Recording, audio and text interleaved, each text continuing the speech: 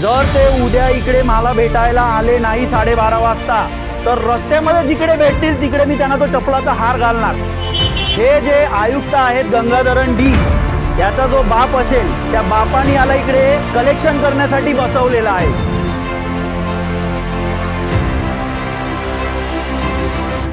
परंतु मला सांगायचं तुझ्यावर खंडणीचे आरोप करू तुझ्यावर खंडणीचे एफ आय आर देऊ द्या ना खंडणीचे आरोप.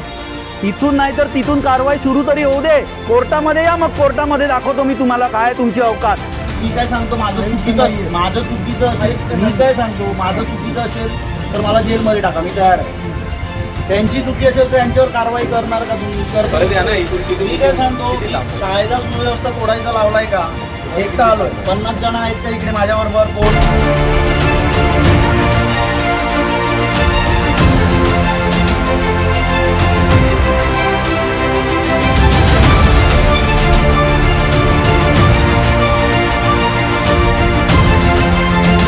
चपलांचा हार घेऊन मी येणार होतो आणि आयुक्तांना घालणार होतो आणि तो मी घेऊन पण आलेलो आहे.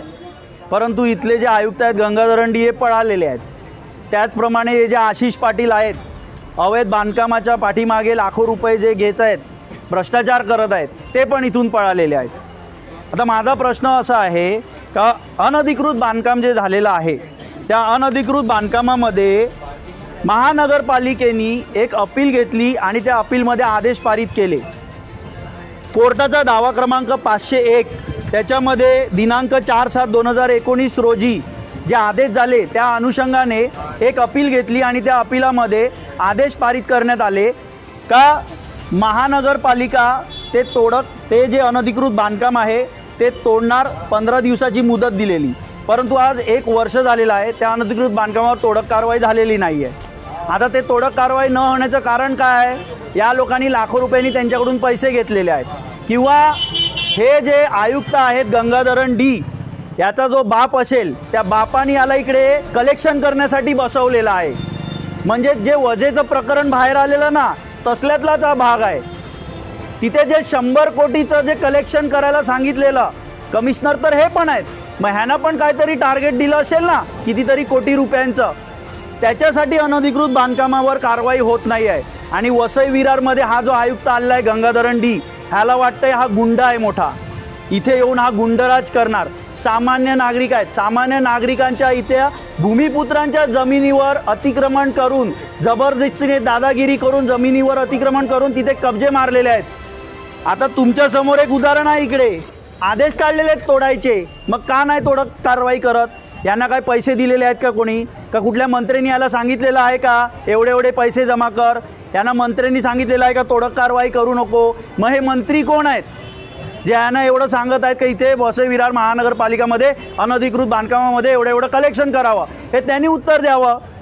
नाहीतर मला सांगा मी चोवीस तास त्यांच्या पाठी लागतो आणि शोधून काढतो कोण आहे तो मंत्री.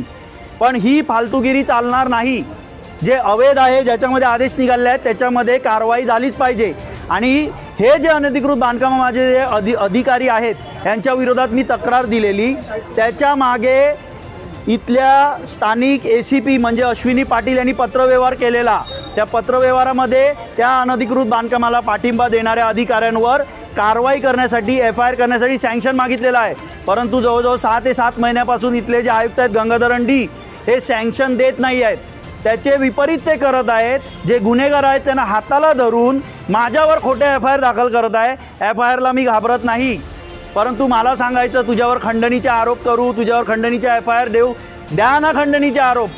इथून नाही तर तिथून कारवाई सुरू तरी होऊ दे. कोर्टामध्ये या मग. कोर्टामध्ये दाखवतो मी तुम्हाला काय तुमची अवकात. तुम्हाला जर कामं होत नसतील तर सोडून द्या. वसई विरार महानगरपालिकेचे जे आयुक्त ज्या खुर्चीवर बसले आहेत तिथे सामान्य नागरिकांची प्रगती झाली पाहिजे. तिथल्या नगर रचना जी आहे तिथली नगर जी आहे त्याची प्रगती झाली पाहिजे. पण ह्या लोकांनी इथे लूटपाट लावलेली आहे. तुम्हाला उद्या बाराचा टायमिंग दिलेला आहे तर बारा वाजता तुम्ही पुन्हा एकदा इकडे येणार आहात का? विरारचे जे पी आय आहेत त्यांनी मला बोलून घेतलं. माझ्यासमोर त्यांनी आशिष पाटलांना फोन केलेला. आशिष पाटलाला फोन केल्यानंतर आशिष पाटील अतिरिक्त आयुक्त आहेत वसई विरार महानगरपालिकेचे. त्यांना फोन केला त्यांनी उद्या साडेबाराचा वेळ दिलेला आहे. जर ते उद्या इकडे मला भेटायला आले नाही साडेबारा वाजता तर रस्त्यामध्ये जिकडे भेटतील तिकडे मी त्यांना तो चपलाचा हार घालणार. बघूया कसे पोलीस अडवत आहेत मला. इथे येण्या येण्यापासून मला अडवणार ना रस्त्यामध्ये गाडी थांबून त्यांना मी हार घालणार. अडवा अडून दाखवा मला कोण अडवतंय मला.